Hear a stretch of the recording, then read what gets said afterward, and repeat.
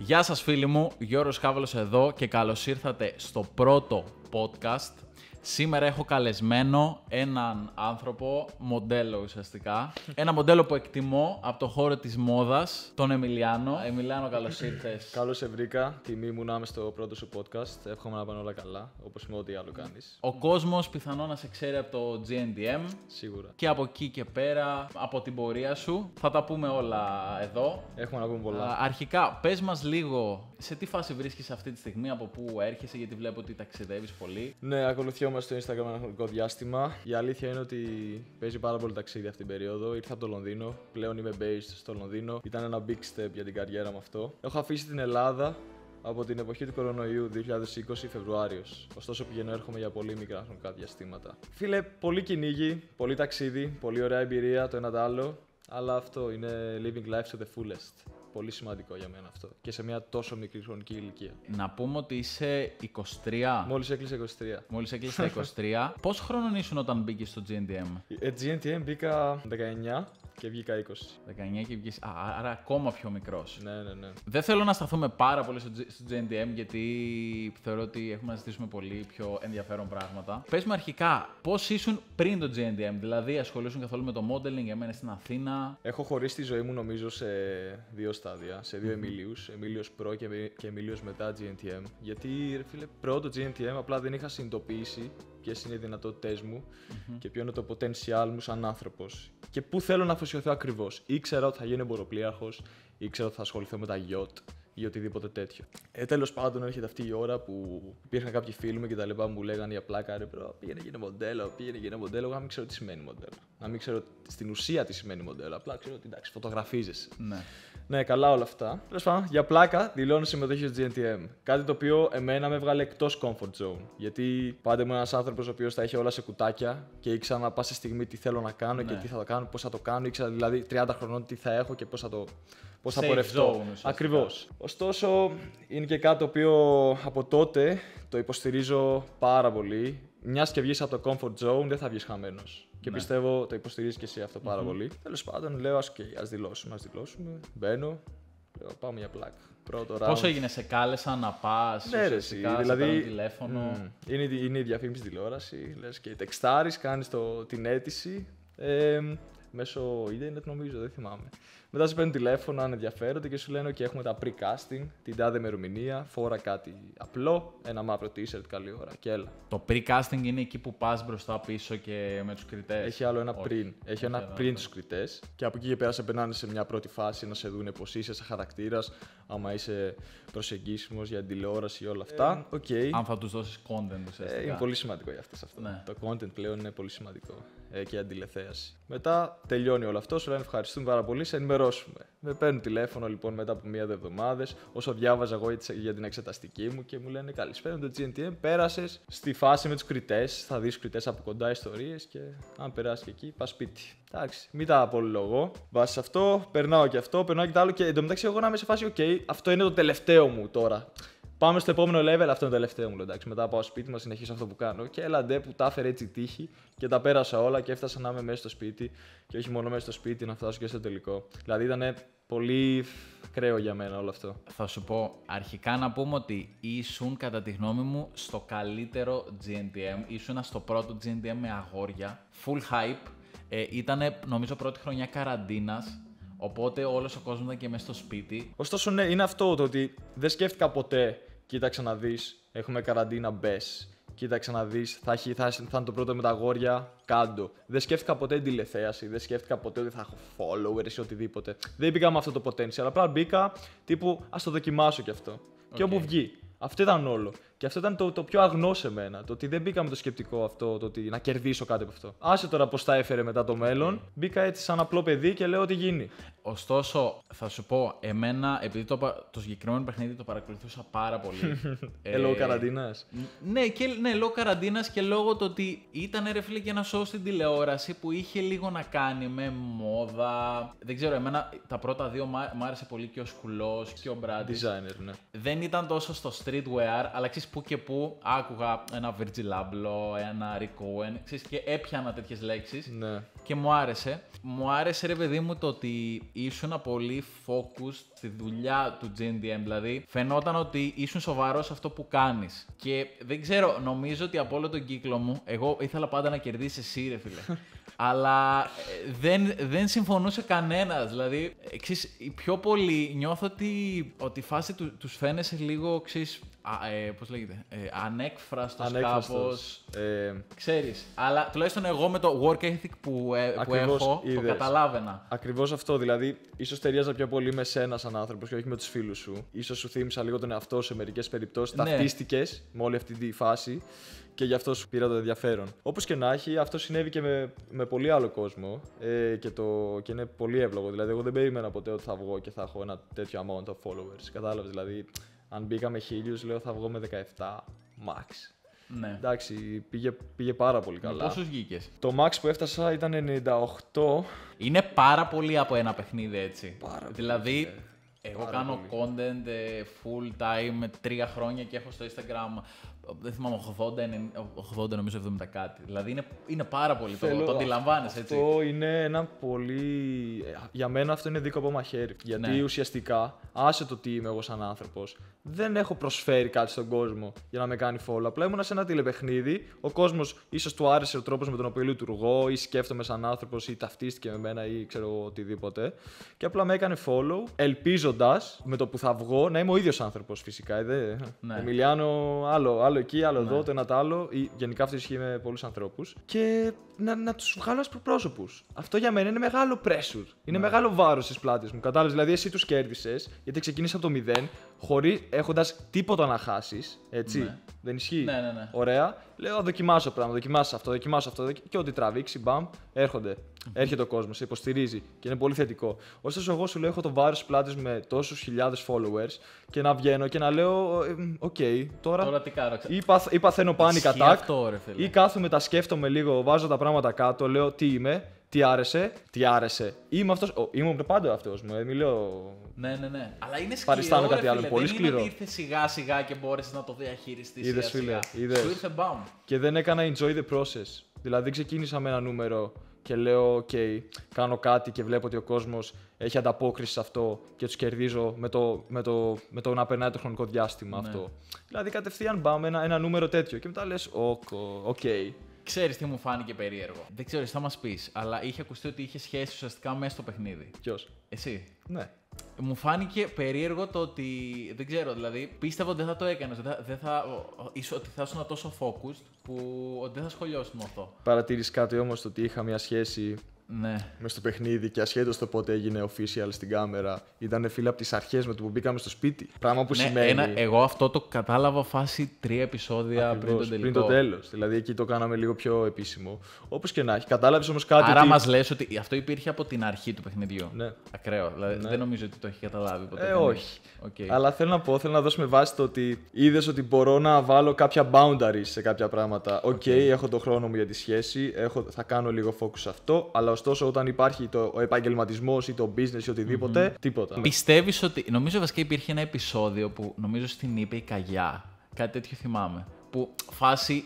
Παίζει, ξέρω εγώ να μην Θυμάσαι έχεις περισσότερα κάνει- από μένα, φίλε. Ε, Ρε φίλε, νομίζω ότι δεν είχες κάνει μια καλή φωτογράφηση και επειδή σε πίστευαν, οι κριτές εσένα σε πίστευαν. Α, ναι. Νομίζω σου είπανε κάτι σαν να σε έχει. Έχεις αποπροσανατολιστεί. Ναι, ναι, ναι, αυτή η λέξη, αυτή η λέξη, τη θυμάμαι. Φίλε, το θυμά... δεν το θυμόμουν, στο ορκίζομαι μέχρι και τη στιγμή που το είπες τώρα. Εντάξει, θα σου πω την αλήθεια. Αυτοί ξέρουν τι λένε. Τους τα λένε από πίσω, από τα background, οι δημοσιογράφοι Οκ. κτλ. Ξέρουν τι παίζει στο σπίτι. Και οπότε σου λέει: Χτύπα και λίγο αυτή την ερώτηση να παίξει με το συναίσθημα του Εμιλιάνο. Μπας και βγάλει τώρα. Ισχύει, ρε φίλε. Μπας και all εκνευριστεί about the οτιδήποτε. Όλα content είναι. Δηλαδή ζούμε στην εποχή του content. Οκ. Και για να κλείσουμε λίγο αυτό, Το εγώ από GNTM. ό,τι είδα, ακολουθιόμαστε καιρό, αλλά ξέρεις, σε, σε είχα τσεκάρει και πριν ε, σε κάνω follow, ότι βγήκε τρίτος, βγήκε τέταρτος. Τέταρτος. Στο τελικό είχε δύο σκέλη, έφυγα. Ναι, στο τελικό. Ε, παρόλα αυτά, δεν είναι ότι ας πούμε πήγες στο GNTM, πήρες τους followers, βγήκε και ας πούμε μετά αυτό που έκανες είναι να κάτσεις στην Αθήνα και να πηγαίνεις, ξέρω εγώ, στο Studio 24 και να. Χωρίς το να- παίζεις μάγκας, ας πούμε, στην Αθήνα. No- ότι no- βγήκες και δούλεψες. No offense στα παιδιά που το κάναν αυτό, γιατί υπάρχουν παιδιά που το κάναν αυτό. Ε, Ρε φίλε, αλλά... προφανώς no offense. Απλά Ναι. ε, εμένα αυτό μου αρέσει σαν έναν άνθρωπο ότι το εκμεταλλεύτηκες σωστά. Ναι. Αν έχω να κρατήσω κάτι από αυτό το παιχνίδι, ρε, εσύ, Γιώργο, είναι ότι με ξύπνησε και μου έδωσε έτσι λίγο το εναρκτήριο. Πώς λέγεται; Λάκτισμα. Λάκτισμα. Ναι. Μπράβο. Ε, για να Δεν ακολουθήσω. ξέρω βασικές έννοιες Ωραίος, ελληνικής ωραίος. γλώσσας, αλλά αυτό το ήξερα.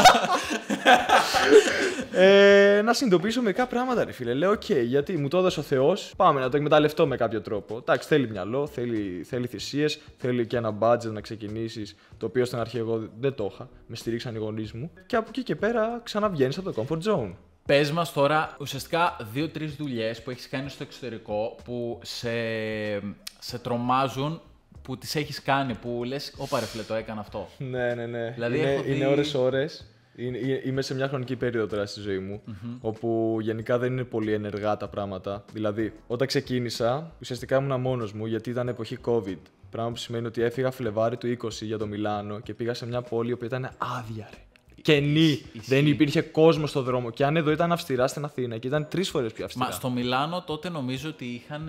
10 Φλεβάρι έφυγα. Το θυμάμαι. Το Μιλάνο ήταν η πρώτη ευρωπαϊκή χώρα που ήταν φάση. τι- Πεθαίνει ο κόσμος, ρε, έβλεπες. Αυτό, αυτό. Χαμός, χαμός. Πρώτε στο δρόμο, κόφτε το, το ένα το άλλο. Όπως και να έχει. Δεν είχαν χώρο στα νεκροταφεία, δηλαδή. Δεν μ' άρεσε αυτές τις κουβέντες, αλλά είναι αλήθεια. Ναι. Ε, φίλε, δεν υπήρχε ψυχή και απλά πήγα εγώ με, τη, πώς- με το σπαθί στο χέρι, ας το πω έτσι, και τη βαλίτσα μου. Κλείνω σπίτι το ένα το άλλο και, και ό,τι γίνει. Δηλαδή είναι ή θα πάει χάλια ή θα πάει καλά, γιατί δεν υπάρχει άλλος κόσμος εδώ. Κατάλαβες τι λέω, είμαι από τα λίγα μοντέλα το ένα το άλλο. Κάνεις λίγο τις γνωριμίες σου, γνωρίζεις λίγο κόσμο, λίγους casting director από διάφορα μεγάλα brand. Α πούμε, εκείνες τις έκατσα περίπου τρεις εβδομάδες. Φίλε, τα πρώτα, μου- το πρώτο μου casting θέλω να μου πεις σίγουρα τη φορά στη μάρκα, σε έχω δει να τη φοράς, έχει ωραία μπουφάν. Το πρώτο μου Έκανες casting στο Moncler Μιλάνο casting. ήταν το Moncler. Ακραίο. ρε. Moncler. Δεύτερο ήταν Bottega Οκ. Και μετά κάναμε Armani. Να ρωτήσω κάτι. Εκεί πρέπει να είσαι κάτι για να πας να κάνεις casting; Ναι, πρέπει να έχεις έναν agent, ε, Ναι. ο οποίος είναι based στο Μιλάνο. Καλή ώρα το D-Management που είναι το πρακτορείο μου, που είναι πολύ καλό. Είναι και ελληνικό ή είναι στο Μιλάνο το πρακτορείο σου; Είναι στο Μιλάνο το πρακτορείο Και μου. συνεργάζεται με τον Έλληνα agent σου; Μ, Κατά κάποιο τρόπο, ναι. Οκ. ναι. Είναι λίγο περίπλοκη η φάση με τα μοντέλα, αλλά επειδή γενικά λαμβάνω πάρα πολλά μηνύματα που με ρωτάνε Θα τα πούμε, θα τα ποια πούμε. είναι η λίγο φάση με πιο... τους manager. Άμα θέλουν πιο αναλυτικά, τα πούμε πιο Θα μετά. τα πούμε, ναι. Όπως και να έχει, σου στέλνει ότι σε έχει ζητήσει η τάδε μάρκα να σε δει, πας και τους βλέπεις την τάδε ώρα στο location, στα headquarters. Και εντάξει, είναι η φάση εκεί πέρα, ρε παιδί μου, μπαίνεις μέσα, λες πού είμαι; Έχω συνηθίσει εγώ στην Ελλάδα, μπαίνεις εδώ σε κάτι χωρίς να θέλω να προσβάλλω τους ε, designers, αλλά είναι πολύ μικρή χώρη, λίγο Ναι. τε- ένα ατελιέ και εντάξει. Εκεί είναι κάτι κτίρια, τε, οικοδομικά τετράγωνα. Security, ιστορίες σε συνοδεύουν στο χώρο που θα γίνει το casting και όλα αυτά. Και έχει μέσα άλλα 3, 4, 5 μοντέλα και ξαφνικά συνειδητοποιείς ότι παίζει ένα άλλο level. Δηλαδή, η Ελλάδα για τα μοντέλα θεωρώ ότι είναι τύπου, ας το, ας το πάμε ποδοσφαιρικά, αλφα τοπικό. Όταν πας σε πόλεις όπως το Μιλάνο, το Παρίσι, το Λονδίνο και Νέα Υόρκη και σε περίοδο Fashion Week, φίλε είσαι Champions League. ναι. Γιατί, Από- Γιατί από ποια άποψη; Από ποια άποψη; Για να περάσει το Champions League, τι πρέπει να έχεις; Να έχεις πάρει πρωτάθλημα αρχικά στη χώρα Ακριβώς, σου. ακριβώς. Ε, και να έχεις έχεις τερματίσει top 3, 4. Ναι. Ωραία. Άρα οι καλύτεροι, οι top 5, ας πούμε στην Ελλάδα, εντάξει, δεν είμαστε τόσα πολλά όσο έχουν άλλες χώρες, μαζεύονται σε μια πόλη. Ναι. Και αναμετριούνται μεταξύ τους. Ναι, Αν το οκ. σκεφτείς έτσι, είναι πολύ Α, οκ, γαμάτο. ένιωσα, ένιωσα. οκ. Ένιωσες. Ένιωσα. Δηλαδή είμαι στο Μιλάνο, θα έρθει ο άλλος από τη Βραζιλία, θα έρθει ο άλλος από τον Καναδά, θα έρθει ο άλλος από το Λονδίνο, θα έρθει από την Ισπανία, από τη Ρωσία, από την Ασία, κούκλοι όλοι. Και είστε όλοι εκεί. Και όποιον πάρουν. Αυτό είναι όλο. Οκ, ωραία. Κάνεις Ε, represent εσύ, μια χώρα. Ποιους, ποιε, ποιες είναι, ας πούμε, οι top 3 καλύτερες δουλειές που έχεις κλείσει και έχεις κάνει; Θα σου πω, θα τις πω, αλλά δεν μ' αρέσει πολύ να δίνω βάση στο τι, γιατί είναι στο παρελθόν αυτές τις δουλειές. Ναι. Είναι ωραίο να σκέφτομαι και να αναπολώ το τι έχω κάνει στο παρελθόν, αλλά δεν μ' αρέσει να, να τις λέω και να, και να θεωρώ ότι wow, ήταν οι μεγαλύτερες δουλειές, γιατί αυτό αυτόματα εμένα μου θέτει ότι Ναι. κοίτα τι έκανα τότε. Θέλω Ναι, να ναι, σκέφτομαι ναι. το Οκ, τώρα. οκ, αλλά επειδή ναι. είμαι σαν άνθρωπος που είμαι, οκ, το έκανα αυτό, what's next; Πάντα η Οκ. ερώτηση στο μυαλό μου είναι αυτή, what's next; Τέλος πάντων. Είναι worldwide Armani campaign. Η οποία είχε μια πολύ, έτσι, πολύ ωραία ιστορία από πίσω. Να πούμε ότι ο, νομίζω, ο, όχι ο Σκουλός, ο, πάλι το ξανά το όνομά του. Ο Μπράτης. Ο Μπράτης από πάντα σου έλεγε Armani. Armani. Τα αυτός είναι έλεγε, ναι. Armani. Όλοι λέγανε για Μιλάνο γενικά. Οπότε βγήκε αυτό το πράγμα. Δηλαδή, Βγήκε. μία ερώτηση. Τι, ποια είναι η διαφορά του Worldwide Armani και ποια είναι η διαφορά. Δηλαδή, μπορείς να κάνεις Armani και απλά να μπεις σε ένα περιοδικό, μπορεί να σε βάλουν στο Ακριβώς. δικό τους Instagram τους. Δηλαδή θα, θα κλείσεις μια δουλειά, ας πούμε, ένας οίκος έχει διάφορα usages. Π.χ. Οκ. εσύ έχεις την Damaged. Οκ, συγχαρητήρια κιόλας, υπέροχο brand. Έχω δει τα κομμάτια σου. Ευχαριστώ, Πολύ ευχαριστώ. καλά πάει, μπράβο. Ωραία, Από έχεις εκεί είναι το website στην Damaged. Θα κάνεις το e-commerce. Ναι, θα το οκ. κάνει το e-commerce. Αν θες, θα κάνεις και ένα lookbook τύπου κατάλογος. Ναι. Αλλά ρε φίλε, η μεγάλη δουλειά για την Damaged και εκεί που θα δώσεις τη μεγαλύτερη βάση και θα, θα διαφημιστικό. κάτσεις να σκεφτείς είναι το commercial ή ή η καμπάνια. Ναι. Η οποία θα γίνει σε ένα outdoor location ή με δεν ξέρουμε οτιδήποτε, ό,τι έχει έμπνευσή σου, έτσι. Ναι, ναι, ναι. Εκεί πέρα πρέπει να δώσεις βάση σε φωτογράφους, να κλείσεις μοντέλα, η οποία είναι, για, για τα μοντέλα είναι η πιο τιμητική δουλειά για ένα, για ένα brand. Δηλαδή πάει καμπάνια, κατάλογος, e-commerce. Κατάλαβες τι λέω. Και παίρνουν και τα περισσότερα. Armani έκανες αυτό με τα εσώρουχα που ήσουν με άλλους πέντε, χρήματα. Α, τέσσερις. Μπράβο, αυτή ήταν Emporio, ήταν καμπάνια κι αυτή. Οκ. Αλλά ήταν εσώρουχα. Τζόρτζιο ήταν τύπου. Ήμασταν τρία άτομα. Ένας ε, Πορτογάλος, ένας Γάλλος και εγώ. Ήταν 10 Ιουλίου. Είμαι στη, στο νησί της Τίνου. Και... Στην Τίνο το κάνατε. Όχι. Α, Τέλος πάντων, ήταν μια καμπάνια την οποία περίμενα πώς και πώς. Γιατί γενικά πέρασα αρκετό χρονικό διάστημα στο Μιλάνο και έφαγα πολλά χ. Οκ, okay, προφανώς θα φας πολλά χ. Ένα πράγμα που θέλει το modeling από έναν άνθρωπο είναι φίλε να είναι ταπεινός, να είναι consistent, να είναι εκεί που πρέπει να βρίσκεται. Και γι' αυτόν τον λόγο δεν με βρίσκει στην Αθήνα πάρα πολύ συχνά, γιατί τα opportunities δεν είναι πολλά. Και ναι, να μπορεί να αποδεχτεί μια, μια χιλόπιτα, μια απόρριψη. Γιατί ρε φίλε, εντάξει, συγγνώμη κιόλας, αν δεν αρέσει, τελείωσε. Φυλάκια. Πάμε στον επόμενο. είναι μόνο το να μην αρέσει. Δηλαδή, είναι πολύ μόνο αυτό. υποκειμενική ομορφιά πλέον. Θέλω να σου πω ότι δεν μπορεί να πει ένα brand ότι αρχικά οι τιμές που σας κλείνουν Ναι. τις δίνουν αυτές ή τις δίνει το πρακτόριο σου; Δηλαδή, θέλω να κάνω μια ερώτηση. Υπάρχει περίπτωση ένα brand να μην σε πάρει επειδή παράδειγμα μπορεί Έχεις να είσαι απ- ακριβώς σαν μοντέλο; Ναι, είναι το rate. Ή έχεις υψηλό rate. Μερικές φορές θα κάνεις εξαίρεση, γιατί Ναι. θα πρέπει να παίξει λίγο πιο έξυπνα. Π.χ. άμα πάει και σε κλείσει εσύ ένα μεγάλο όνομα, δεν νομίζω να κάτσεις τώρα να τους λες παζαριλίκια. Ο μάνατζερ σου ξέρει τι Σίγουρα. κάνει, γιατί την κάνει δουλειά πριν γεννηθώ εγώ. Οπότε δεν θα κάνεις παζαριλίκια, γιατί αυτό, αυτό αυτόματα είναι και μεγάλο exposure για σένα. Είναι Ναι, ναι, μεγάλη, ναι. μεγάλη εικόνα. Έτσι. Ναι. Και μετά ακολουθούν τα υπόλοιπα. Όταν φτάσεις σε ένα level λοιπόν να κάνεις μεγάλες δουλειές, ασχέτως τα λεφτά που πήρες, λίγα ή πολλά, αλλά είναι μεγάλα ονόματα, μετά έχεις και το, το πάνω χέρι στο να ζητήσεις και παραπάνω χρήματα στι Οκ. επόμενες δουλειές. Αυτό ανεβάζει το rate σου.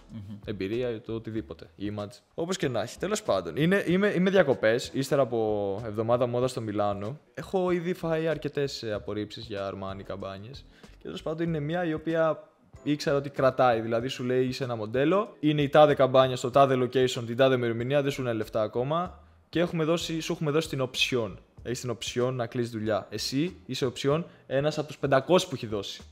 Δηλαδή, πες, 500 αγόρια και έχει δώσει οψιόν 500. Τέλος πάντων, λέω και οψιόν άλλη μία, λέω εντάξει, λέω δεν θα γίνει. Δεν θα, Έπρεπε δεν θα να κάτσω- πας εκεί δεν θα ή κάτσω απλά να σκάσω. περίμενες. Ρε φίλε, είχα φύγει από το Μιλάνο, είχα πάει διακοπές εγώ. Το είχα βγάλει από το μυαλό μου. Ναι, ναι, ναι. οκ. Και είμαι εκεί με, ένα, με την κοπέλα μου τότε και είμαι με το Fiat 500. το είχα ανοίξει κάμπριο και η Τίνος δεν έχει αεροδρόμια κτλ. Και, και οδηγάω εκεί πέρα στα γκρεμούς, να πούμε, κάτι δρόμους επικίνδυνους και βλέπω πέντε κλήσεις από το μάνατζέρ μου. Μου Λέω, μα λέει, πέντε κλήσεις, λέω, αν με παίρνει ο άνθρωπος, λέω κάτι έχει συμβεί. Και τέλος πάντων το είχα ψιλοξεχάσει εγώ και μου λέει, call me, call me, ε, call me ASAP. Και λέω, «Μαλάκα, τι γίνεται εδώ». Ναι, confirmed. Τι λέω, τι confirmed. Μου λέει, Confirmed you're flying to, to, to Milan tomorrow, λέει Armani. ώρα». Μαλάκα. Τι, Ναι, τι. Η ώρα 5.30 το πρωί. το βράδυ Α, οκ. και τελευταίο καράβι 6. Και απόσταση εγώ από το λιμάνι μισή ώρα ακριβώς. Ναι, ναι, ναι. Και δεν έχει αεροδρόμιο. Και λέω πρέπει να πάρω το καράβι και να πάω Αθήνα και να πετάξω από την Αθήνα. Δηλαδή, Ναι, ναι, ναι. λέω bro, το τι έκανα εκεί πέρα ήταν πολύ aggressive η οδήγηση Ναι, ναι, και ναι, πολύ οκ. επικίνδυνο. Όπως και να έχει, πρόλαβα το καράβι. Οριακά μπαίνω μέσα, γυρνάω Αθήνα, το ένα το άλλο. Λοιπόν, αυτό που έχει, που έχει το κακό και το καλό που έχει αυτή η δουλειά είναι ότι έχει πολύ αδρεναλίνη, αλλά είναι όλα last minute. Σχεδόν όλα. Ναι. Σχεδόν όλα. Οκ. Δηλαδή, είμαστε εδώ καλή ώρα, μιλάμε. Μεθαύριο μπορεί απλά να μην ξέρω και να είμαι σε άλλη χώρα. Ωραία, οκ. Άρα, για να μην φεύγουμε έτσι και λίγο από την ερώτηση, το πρώτο, ας πούμε, big είναι το Emporio Armani, το campaign, ας πούμε. Ε, Giorgio Armani. ναι, campaign. Giorgio Armani. Δεύτερο, να σου πω, επειδή έχω δει λίγο το Insta σου, έχω δει ένα που έκανες show Dolce Gabbana. Ναι, ναι. Νομίζω αυτό είναι το, το αγαπημένο που σε έχω δει να κάνεις. Πιο απ' όλα. Έχω κάνει τέσσερα. Έχεις κάνει τέσσερα, οκ. Ναι. Ένα που σου είχαν βάψει τα μαλλιά. Απίστευτο. Για, Απίστευτο. πε μας λίγο γι' αυτό. Αρχικά το θεωρείς, θα το. Θα σε ρωτήσω εσένα Ναι, κάτι. πες μου. Θα με έβλεπες με ξανθό τώρα έτσι όπως είμαστε. Να αλλάξω όλο μου το vibe. Ρε φίλε, τώρα εδώ που καθόμαστε, όχι, αλλά εκεί ήταν top, ρε φίλε. Δηλαδή αυτό που σου έβαλαν, είχες make-up, έτσι. Ε, εντάξει. Ναι, Ο- ο- Make-up, εντάξει, πάντα έχει make-up. Όλο αυτό το vibe του τότε σου τέριαζε full. Ξέρεις γιατί; Είχε και, ήταν και κάτι άλλο. Ήταν μια, ένα backstory τρελό. Γιατί αν θυμάσαι καλά, επειδή μου σε παρακολούθησε GNTM, με ρώτησαν μια μέρα ποιος ας πούμε, ποιο παιδί από εδώ πέρα στο πλατό δεν θα έβαζε φούστα ή δεν θα έβαζε κάτι γυναικείο πάνω του ή δεν θα έβαζε σκουλαρίκια ή τακούνι. Α, ναι, και είχες πει εσύ. Και ήμουν ο πρώτος που σήκωσε το χέρι μου εγώ. Μα γιατί έβαλες τότε. Ο Sigma Mail, ξέρω εγώ. Όχι, εγώ δεν βάζω, ξέρω εγώ. και εντάξει, οκ, απλά ποτέ μη λες ποτέ. γιατί σε αυτό έβαλες φούστα. Swarovski αμάνικο, το οποίο ζύγιζε 8 κιλά. Οκ. Όταν μου κάναν το fitting, λέω bro, τι είναι αυτό; Οκ. Ένα παπούτσι τώρα μυτερό. Απλά όχι, ήταν όλο το θηλυπρεπές. Γιατί η μούρη μου τότε βγήκε πάρα πολύ θηλυπρεπή. Ε, χρυσά νύχια μου βάψαν νύχια, σκουλαρικάκια, το ένα το άλλο. Ήταν... Ναι. Όχι, νομίζω σου πήγαινε. Εμένα μου ρε άρεσε φίλε. πάρα πολύ. Σου πήγαινε. Μου άρεσε. Όπως και να έχει, η ιστορία και σε αυτή είναι πολύ ενδιαφέρουσα γιατί είμαι στο αεροπλάνο και ήξερα ότι είναι το show confirm και πετούσα για να πάω Μιλάνο και από Μιλάνο Βενετία. Και με το που προσγειώνομαι, βλέπω ξανά κλήσεις Μμμ. από το manager. Και λέω, Όχι, τι συμβαίνει τώρα.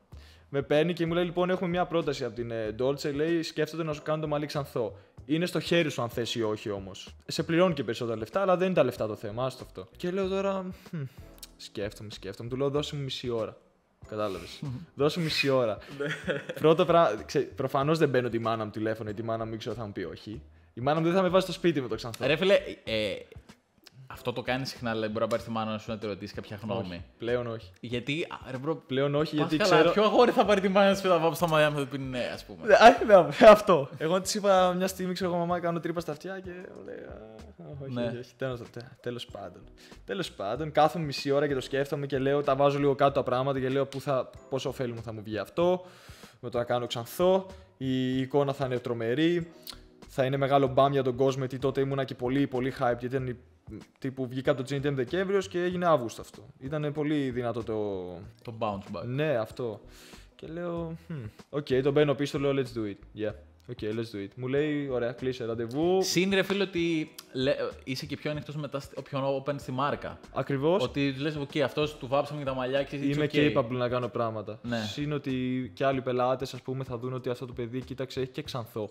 Είναι άλλη μια οψιόν, άλλη μια εκδοχή του. Πολύ Ναι. σημαντική. Μα ακόμα και για το Instagram, ρε φίλε, είναι κάτι, ένα Τέλειο. διαφορετικό post, κατάλαβες. Παρεπτόντως, έχω δει και σένα κάνεις πολύ τεστ με το μαλλί και σου πάει. Εγώ, ρε γενικά. φίλε, θα σου πω, κυρίως πρώτο χρόνο Αθήνα, καραντίνα τότε, ίδια Ναι. φάση. Είχα κάνει καρδιές, είχα κάνει κεραυνούς, είχα Το- κάνει δύο Μ' χρώματα. αρέσει πάρα πολύ το μαλλί. Είχα σου, κάνει φίλε. πάρα πολλά. Απλά μετά από ένα σημείο ε, πέρασα ουσιαστικά μια φάση μετά που άνοιξαν. Πέρα το ότι με αναγνώρισαν στον κόσμο σε λίγο ενοχλητικό βαθμό, είχα και το μαλλί και με κοιτούσαν όλοι. Δηλαδή και αυτοί που δεν με ήξεραν με κοίταγαν. Τύπου αυτός βγάζει vibe ότι κάτι είναι. Ναι, Το και νιώθεις, ε. μετά από ένα σημείο δεν μπορούσα, ρε φίλε, και Ναι. το σταμάτησα. Τώρα δηλαδή μου αρέσει το φυσικό μου μαλλί. Δεν νομίζω ότι είσαι και άτομο το οποίο θέλει να κρατάει τον εαυτό του low profile. Ενώ με, με, με την καλή έννοια, δηλαδή σ' αρέσει και το. Ξέρεις τι, Κοίταξε. Σε, σε, συγγνώμη κιόλας, Ναι. φίλε, αλλά βλέπω τα αμάξια σου. Ναι. δηλαδή δεν, δεν πέρασα παρατήρητο.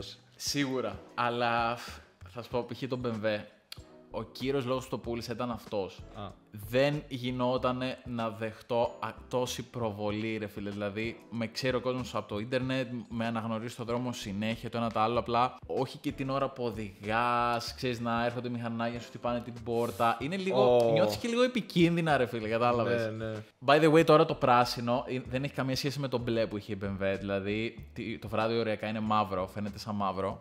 Ε, το δουλεύω. Το δουλεύω, δηλαδή. Και κάνω ψυχοθεραπεία πάνω στο το, το θέμα. Και έχω βελτιωθεί. Αλλά αν μιλούσαμε γι' αυτό πριν ένα χρόνο, ε, οριακά δεν μπορούσα να βγω από το σπίτι. Και σου λέω και όσο προχωράει ο καιρός, προσπαθώ και εγώ να είμαι πιο low key. OK.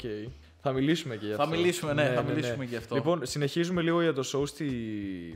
στη Βενετία, να το κλεισουμε αυτό. Σκέφτηκα λοιπόν το τι θα γίνει στο Instagram, σκέφτηκα τα πάντα. Οπότε λέω πάμε να το κάνουμε. Μου κλείνω ένα ραντεβού με το κομμωτήριο την επόμενη μέρα. Έκατσα 4 ώρες, φίλε, 10 Ναι, πας ναι, ναι. και το μαλλί μου ήταν μακρύ τύπου. Ένα δεκαπά σου έκαναν ή δύο; Α, Δεν τα ξέρω καλά αυτά, φίλε. Εσύ που τα είσαι τεστάρει πολλές Πόσες, φορές. πόσες φορές ένιωθες να τσούζει Να το κεφάλι καίει, σου; να Πόσες καίει, φορές; φίλε. Να Μία- θέλω να το ξύσω πολλές. Νομίζω δύο-τρεις. Ε, παίζει να σου, επειδή το είδα αυτό το ξανθό, παίζει να ήθελες τρία δεκαπά για να σου Ναι. βγει αυτό το μαλλί. Και ήταν μόνιμο και μπλα μπλα μπλα. Οκ, το βλέπω. Το, το πιο αστείο ήταν το επόμενο πρωί, φίλε. Που απλά το είχα ξεχάσει και πάω στον καθένα Ναι. ναι. λέω Όπως είμαι έτσι. Τέλος πάντων. Πάμε στη Βενετία. Ε, αρχίζουμε, φτιάχνουμε μαλλιά, κάνουμε make-up, ντυνόμαστε, βάζουμε τα ρούχα που έχουμε προγραμματίσει. Αυτό ήταν το πιο epic show. Θα σου πω γιατί. Γιατί αρχικά είχαμε ακραίους καλεσμένους. Ήταν ένα show το οποίο ήταν πάνω σε μια πλατφόρμα πλωτή, η οποία είχε γυαλί πάνω της, Οκ. η οποία ήταν τύπου 100 μέτρα. Και στο τέλος του διαδρόμου είχε, ένα, κι- είχε ε, κοινό, το οποίο μέσα στο κοινό ήταν όλη η οικογένεια Jenner. Ήταν ο Vin Diesel, ήταν η Jennifer Lopez, ήταν όλοι αυτοί. Ήταν η Kim Ο Kylie, Didi, δηλαδή. ο τέτοια. Didi, ε, πώς το λένε, Didi, Ναι, ο Didi. Didi και οι κόρες του. Οκ. Ο, ε, ήταν η μαμά Jenner με τον μπαμπ, Οκ. ο Kris Jenner. Ήταν η Kim Kylie. Νομίζω δεν ήταν η Kim, αλλά νομίζω ήταν η Kylie. Οι δύο. Η- Khloé. Η Khloé αυτή. Khloé, μπράβο. Τέλος πάντων, μπαίνει στο show και ήταν τύπου 90 μοντέλα και ήμουν προς το τέλος. Και φίλε με το που βγαίνω, τραβάει, ρίχνει χαλάζι. Ένα χαλάζι τύπου τόσο. Οκ. Και να σου πέφτει Α, το ήταν κεφάλι. ανοιχτό πάνω. Ναι, ήταν ανοιχτό. Και ταυτόχρονα είσαι σε πλωτή πλατφόρμα πάνω στο νερό. Οκ. Χαλάζει. Άνεμος. Συνεπάγεται κύμα. Συνεπάγεται πλατφόρμα που πηγαίνει δεξιά-αριστερά. Οκ. Και εσύ να πρέπει να περπατήσεις 100 μέτρα. OK. Bro, δεν έχω ξανανιώσει στη ζωή μου πιο μεγάλο, όχι φόβο. Πιο μεγάλο φόβο μην ξεφτιλιστώ. Ναι, Τύπου ναι, τώρα ναι, πέσω ναι. μέσα, όχι να πέσω μόνο κάτω, να πέσω και στο νερό. Φίλε, ήταν άλλο level. Τέλος πάντων, πήγε πάρα πολύ καλά.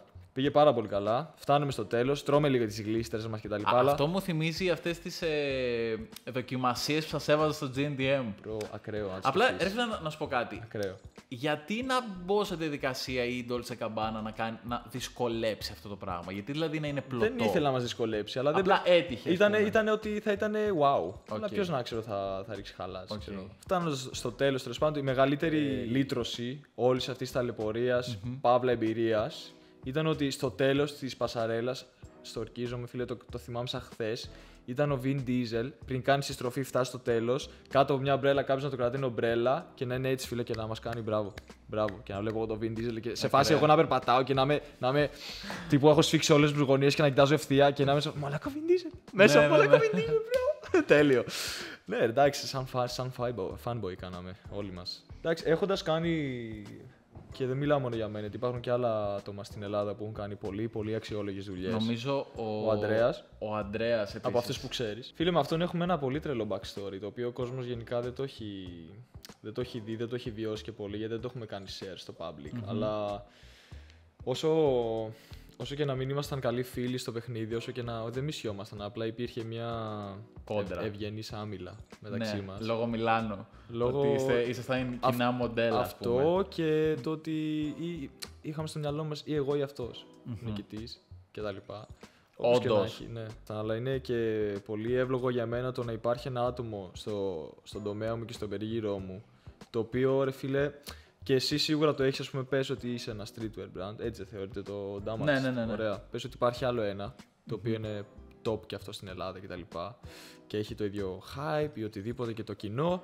Και κάνει κάτι καλό, μετά κάνεις κάτι εσύ καλό, μετά κάνεις, κάνει ο άλλος κάτι καλό. Και είναι σε φάση μ, σου, σου, σου βγάζει το potential το καλύτερό σου, δηλαδή θέλεις να γίνεις καλύτερος από αυτό, δηλαδή σε κάνει ένα καλύτερο εσένα. Δηλαδή Οκ, σε... ένιωσα. Κατάλαβες Ναι, τι ναι, ναι, εννοώ, καταλαβαίνω έτσι. αυτό που λες. Οπότε ανά πάσα στιγμή λες τι θα κάνω παραπάνω για να περάσω αυτόν. Οπότε δεν κάθεσαι σε ένα comfort zone και λες οκ είμαι ο καλύτερος. Υπάρχει μια κόντρα. Όπως και να έχει. Μας βγάζει τον καλύτερο εαυτό αυτός ο άνθρωπος. Πήγα στο Μιλάνο, τέλος πάντων, μείναμε μαζί ένα, ένα χρόνο. Ένα χρόνο τύπου. Στο- εννοείς το ίδιο σε ίδιο διαμέρισμα. διαμέρισμα, φίλε. Σε ένα 30 Ακραία. τετραγωνικά, ε. Τώρα άστα να πάνε. Και... Το οποίο το βρήκατε εσείς, σας το βρήκαν, ας Ναι, πούμε. έμενε ήδη ο Αντρέας εκεί και μετά όταν έφυγα από το παλιό μου σπίτι, εγώ του ζητάω του Αντρέα, ξέρω εγώ. Και τότε δεν ήμασταν τώρα πολύ καλοί φίλοι. Ήμασταν σχέση GNTM τότε. Ναι, ναι, ναι. Αδερφέ του λέω, ξέρεις, δεν έχω σπίτι στο Μιλάνο αυτή τη στιγμή. Παίζει να με φιλοξενήσει για ένα μικρό χρονικό διάστημα. Και φίλε, ευγενέστατος και το εκτιμώ πάρα πολύ. Μου λέει, Αδερφέ μου, ό,τι θες, εννοείται, ναι, έλα σπίτι μου. Μπλα μπλα μπλα, τα πήρε έτσι πορεία, τα βρήκαμε μεταξύ μας και μείναμε για πολύ μεγάλο χρονικό διάστημα. Και είμαστε σε φάση, OK, respect ο ένας τον άλλον για τις δουλειές που κάνει κτλ. Έτσι. Οκ. Και. Good story. Good story. Good φίλε. story. Και όχι μόνο Good αυτό, story. και τώρα και Λονδίνο μαζί είμαστε. Οκ. Δηλαδή η φάση, αδερφέ, τι γίνεται. ναι, είναι εύλογο, είναι πολύ, πολύ ωραίο. Λοιπόν, πέρα τώρα από το modeling, πες μας εσύ τι ροκάρεις, τι σ' αρέσει να φοράς, ποια είναι τα αγαπημένα σου brands. Φίλε, αυτή είναι μια ερώτηση την οποία περίμενα θα μου κάνεις. Αλλά μέχρι και αυτή τη στιγμή δεν μπορώ να σου πω συγκεκριμένα ποιο brand είναι το αγαπημένο μου. Ωστόσο, θα σου πω ότι μ' αρέσει το look μου και αυτό που αντιπροσωπεύω σαν άνθρωπος. Βασικά το look να με αντιπροσωπεύει και σαν άνθρωπο ή σαν άνθρωπος να αντιπροσωπεύω το look μου. Το ένα πάει με το άλλο. Ε, να μην μπορείς να καταλάβεις. Πήγε καλή ώρα σήμερα. Οκ. Βλέπεις τα ρούχα μου. Δεν υπάρχουν ε, big brands, δεν υπάρχουν logo κτλ. Δεν μπορείς να καταλάβεις πόσο κοστίζει. Μπορεί να κοστίζει 1000, μπορεί να κοστίζει 100. Οπότε να μην μπορεί να καταλάβει ο άλλος. Να, να έχω πληρώσει το 1 δέκατο από αυτό που νομίζει ή ακριβώς το αντίθετο. Ο- Με λίγα λόγια, δεν μου αρέσουν τα μεγάλα logo. Για μένα, οι άνθρωποι οι οποίοι φοράνε μεγάλα logo τους χωρίζω σε δύο κατηγορίες. Ή π.χ. Palm Angels, στην πλάτη τεράστιο, oh, sorry, στην πλάτη τεράστιο ή Balenciaga ή όλα αυτά.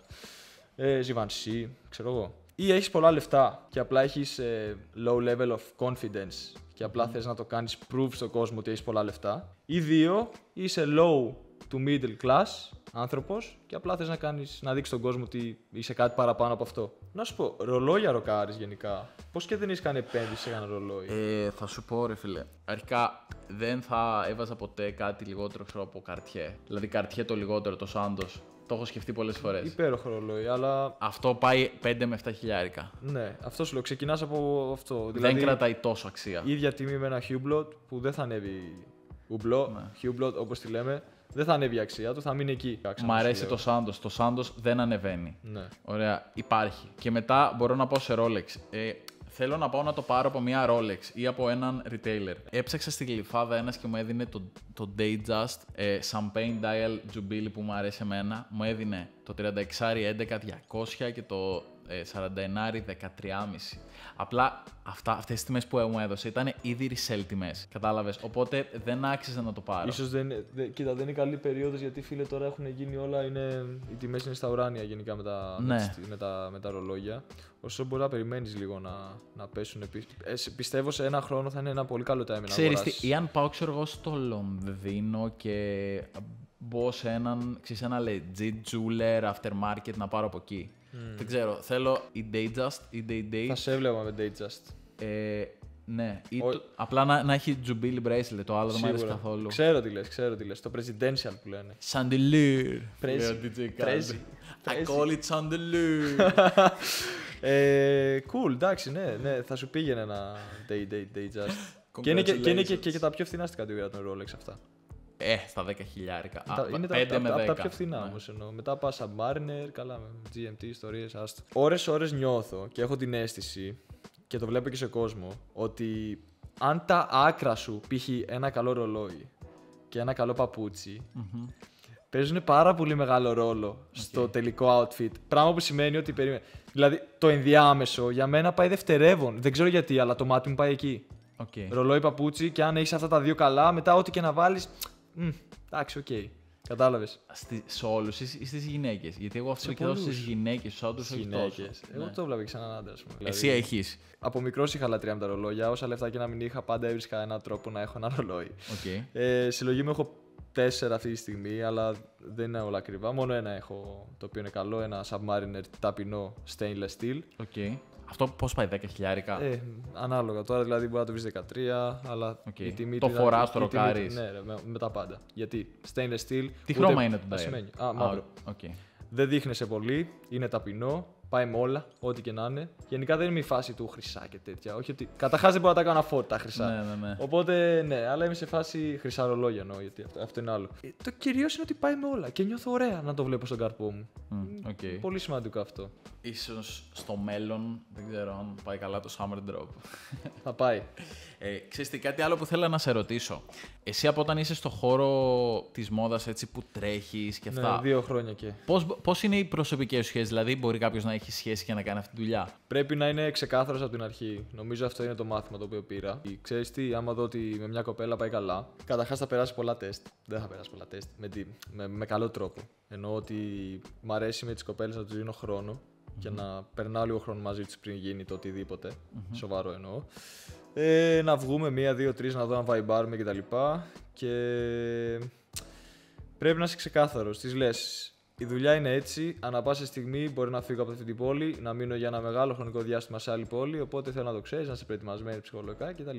Άμα θέλει, καλώς. Άμα δεν θέλει, θα, θα τα βρούμε αλλιώς. Δεν ξέρω. Κάτι αντίστοιχο όμως μπορεί να ισχύει και για την άλλη κοπέλα. Ενώ ότι και, να είστε και οι δύο μοντέλα, αλλά και η άλλη κοπέλα να ταξιδεύει πάρα πολύ. Ναι. Και να σου ουσιαστικά σε εισαγωγικά να σου κακοφαίνεται εσένα σαν αγόρι. Ή να μην βρίσκεστε καθόλου μέσα σε λι- ένα μήνα, ας πούμε. Ναι, είναι, είναι λίγο κακό αυτό γιατί είσαι και σε μια μικρή ηλικία. Στην ηλικία του, την οποία είσαι απόλυτα πάρα πολύ δημιουργικός και για μένα με αγχώνει και λίγο το γεγονός ότι είναι τώρα που πρέπει να χτίσω και να θέσω τα θεμέλια και τις γερές βάσεις ώστε στο μέλλον να έχω κάτι το οποίο είναι ήδη στημένο χρόνια, Οκ. χρο- χρόνια πριν, τύπου και στα 23-24, οτιδήποτε. Οπότε ναι, νομίζω για ένα άτομο στην ηλικία μας το οποίο είναι και, και σοβαρό και έχει αντιληφθεί λίγο το πώς είναι η πραγματικότητα και δεν ζει στη- σε μια φούσκα, είναι ότι πρέπει να κάνει focus σε άλλα πράγματα και όχι στο Ναι. σχέση, το Οκ. ένα το άλλο κτλ. Αν και εφόσον το στηρίζει η σχέση του και τον ανεβάζει, τότε ναι. Πολύ σημαντικό.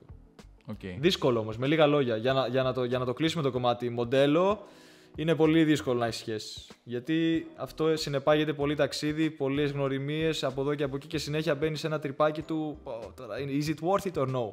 Αυτό. Okay, ναι. Λοιπόν, αρχικά να πω ότι έχω παρατηρήσει και σε παρακολουθώ και στο TikTok κτλ. Έχεις κάνει. Το έχεις πάει. Το πας σε ένα άλλο level σταδιακά, αλλά πάει πάρα πολύ καλά με το να γίνεσαι πάρα πολύ καλός και να ξέρεις να δουλεύεις στα social media ναι. τύπου Instagram και TikTok. Είσαι μέσα στα trends. Είσαι ο, άνθρω... είσαι ο, είσαι ο Ναι, εαυτός ναι, σου ναι. φυσικά και αυτό λατρεύει ο κόσμος σε σένα κτλ. Πόσο pressure είναι αυτό μέσα σου πάνω σου; Γιατί τώρα μιλούσαμε πριν λίγο off camera και μου λες: Έχω να κάνω αυτό το βίντεο σήμερα, άλλο ένα βίντεο μετά και αύριο έχω άλλα τρία και μεθαύριο έχω άλλα τρία. Δηλαδή, φίλε, αυτό είναι για μένα μεγάλο respect γιατί Ναι. δίνεις, δίνεις τη ζωή σου και όλο σου το focus σε ένα πράγμα το οποίο πραγματικά αγαπάς και εγώ αγαπάω το content αλλά δεν έκατσε έτσι με τη ζωή μου να μου τα βγάλει όλα όπως θέλω, ίσως γίνει στο μέλλον.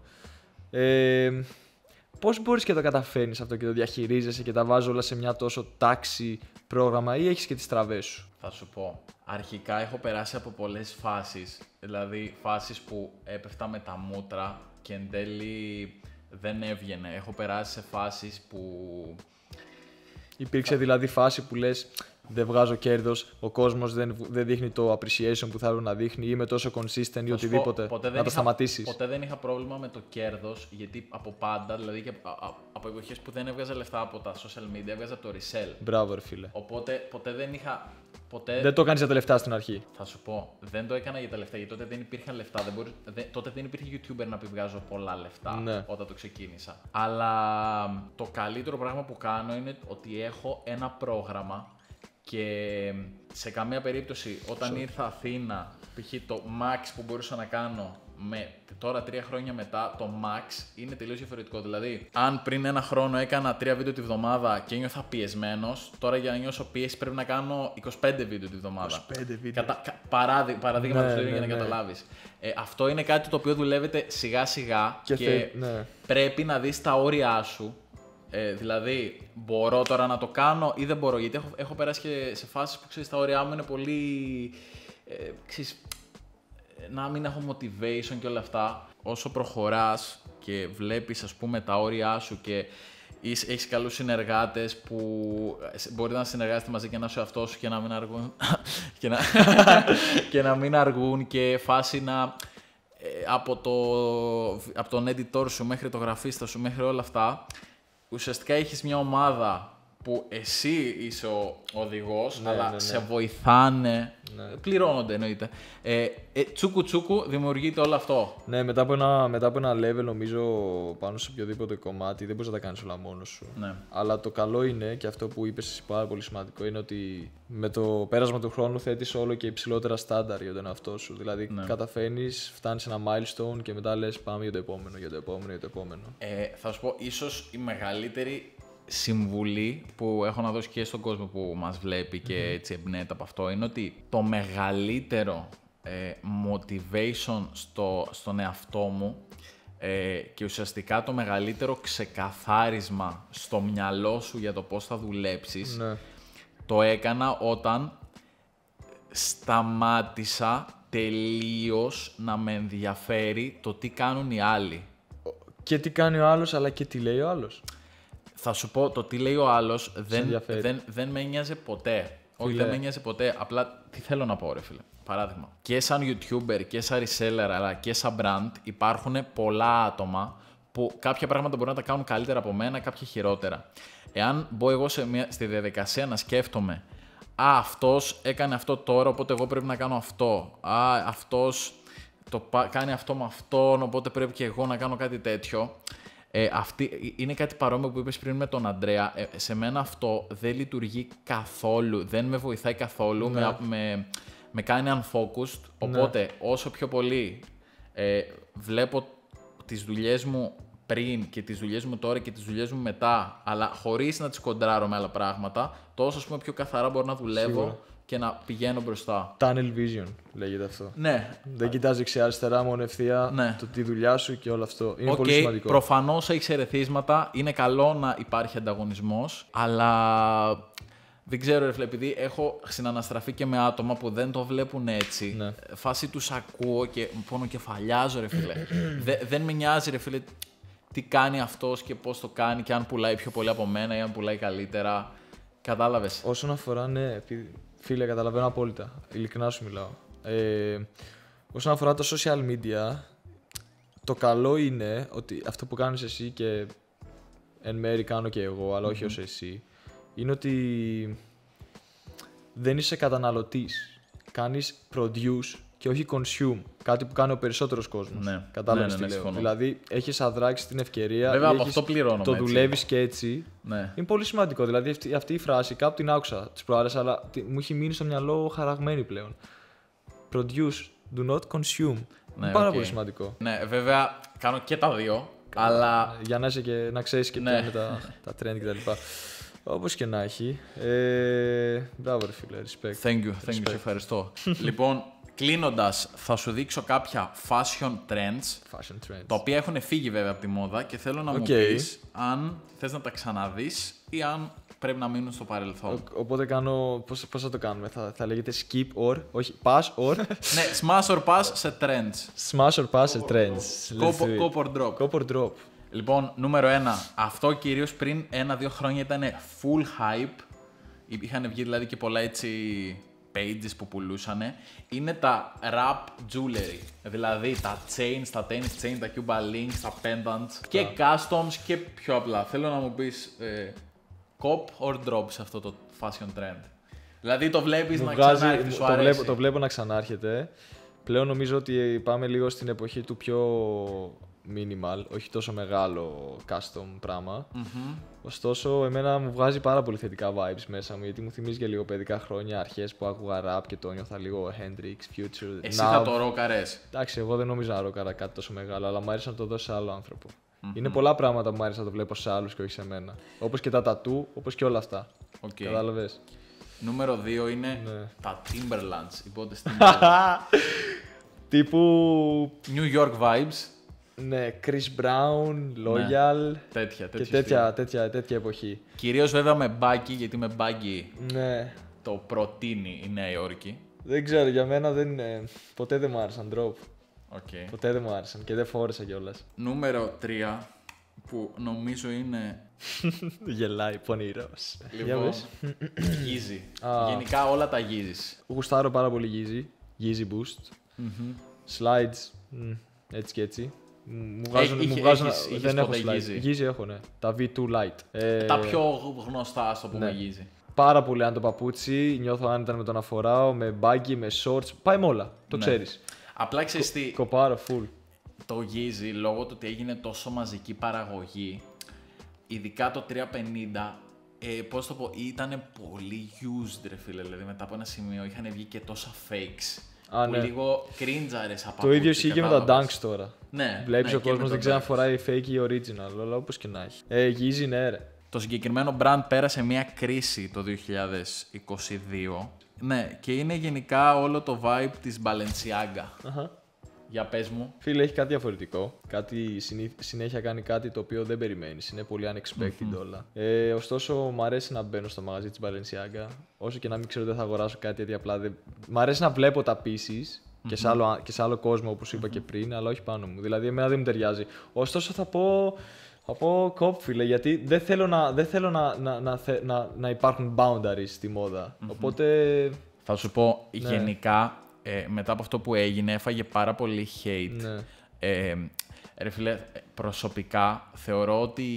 Ε, πώς να το πω, αυτό που έκανε η Balenciaga είναι ότι okay, η Louis Vuitton και η Gucci και, ο, και η Givenchy και η Saint Laurent, όλα αυτά, μια ζωή ακολουθούσαν ας πούμε ένα πρότυπο, ένα road ξέρω εγώ. Και απλά έβαζαν σχεδιαστές, τα άλλαζαν λίγο. Η Balenciaga, ρε φίλε, είναι το μόνο brand που έσκασε και ήταν πραγματικά τόσο creative. Και όχι μόνο creative στο να βάζει περίεργα μοντέλα, στα πατρόν, στο πόσο oversize θα είναι η μπλούζα, στα σχέδια. Τα γυαλιά, όλα, όλα. δηλαδή, εγώ τη θεωρώ ένα τεράστιο κομμάτι της μόδας αυτή τη στιγμή. Συν ότι πολλά brand πλέον γίνονται inspired από Ναι. Balenciaga. Ωραία. Συμφωνώ, cop. Τελευταίο, θέλω να μου πεις γνώμη για τα α, football jerseys στη μόδα.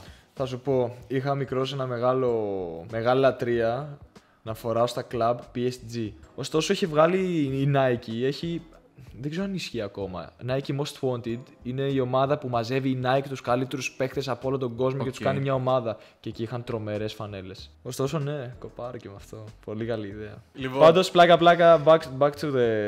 πα- Να πάμε πίσω στην αρχή, το συζητάμε πάρα πολύ καιρό να κάνω αυτό το podcast. Από τότε που ήμουν στο Λονδίνο και ήταν ένα βράδυ, νομίζω ήταν να βγω κάπου και σου, σου στείλα κάτι σε ρώτησα για μια κάμερα και μου απαντάς Ισχύει, ναι, με ρώτησες. γιατί είχα ένα ταξίδι τότε Canary Islands και σου λέω Ναι, ναι, αδερφέ, ναι.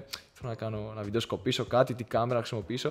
Είδες φίλο όμως, σου στείλα μήνυμα εγώ που τύπου δεν περίμενες ποτέ να σε ρωτήσω κάτι για μια κάμερα. Σε Ναι, ρωτούσα όχι. κάτι άλλο, πες, οκ. Ναι, ναι, ναι. Τέλος πάντων, κάπως έτσι τα έφερε η συζήτηση, αλλά φίλε με το καλό να, να κάνουμε και ένα podcast στο Λονδίνο. Όποτε θες, ότι χρειαστείς Λονδίνο, Οκ. φίλε, ό,τι χρειαστείς. Ωραία. Άρα να κλείσουμε εδώ το podcast. Να το κλείσουμε, Σε ευχαριστώ πολύ. Μπορείτε να βρείτε τον Εμιλιάνο στο Instagram. Ε, ανεβάζει full content πέρα από την καθημερινότητα και με modeling κτλ. Το πιο σημαντικό είναι αυτό. Τα ταξίδια.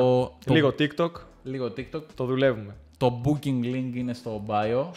Μην ξεχάσετε να κάνετε subscribe για να έρθουν και άλλα τέτοια επεισόδια. Τα Instagram μου και τα λοιπά τα ξέρετε θα είναι κάτω στην περιγραφή. Ευχαριστούμε όσους κάτσατε μέχρι εδώ full και τα λέμε σε λίγες μέρες με νέο βίντεο. Γεια σας.